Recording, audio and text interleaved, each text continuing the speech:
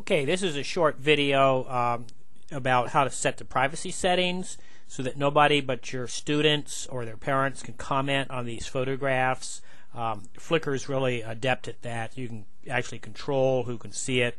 Uh, so this is why it's very useful for uh, particularly uh, K through 6, that kind of era where um, sometimes school administrators are a little bit worried. So basically, in your case, uh, you go to you, and you're going to go down to where it says uh, your account.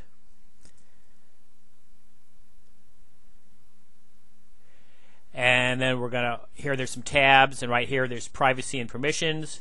So we'll click on those. And then you can edit each one of these categories. Excuse me. You know, who can download your stuff, who can actually share, pass on your uh, videos, that kind of thing, who can print your pictures, uh, if we go down a ways, you'll see exactly what I'm looking for in this case. Uh, content filters, who can see what on your profile, who will be able to see, comment on, or add notes, defaults for new uploads, comment on any Flickr user, add notes and tags, your contacts. So we can edit this And so who can see your photo stream?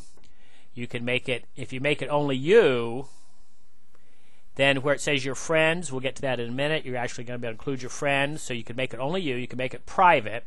Then the same way with comments, you can make comments only your friends and or family or your contacts. That works. All right. And then um,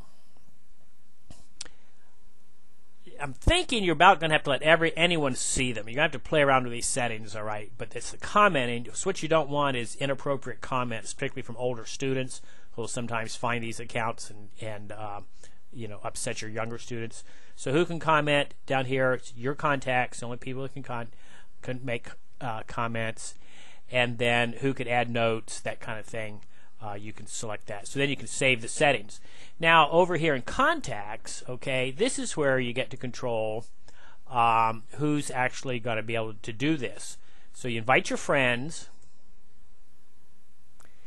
and essentially inviting your friends means you're going to send everyone an email message, and if they respond to that message, that means they automatically get included in the list of people who can actually view your uh, comments and make comments themselves on your Flickr account. Once again, you have to play around with this a little bit. You could call these people friends and families, and that's how you could decide if they could really see it as well as comment on it.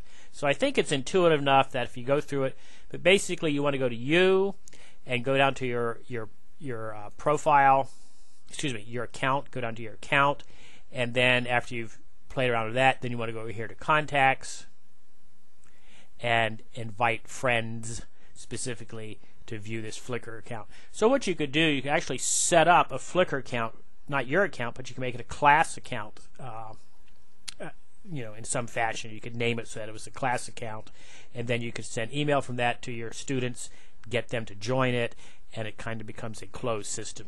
I, I think it's a very uh, powerful tool, a great way to make presentations for students to make presentations. It'll feel interactive, and I think um, you know ever since I discovered, I I just love it. I use it. In, I use it in photography class that I teach.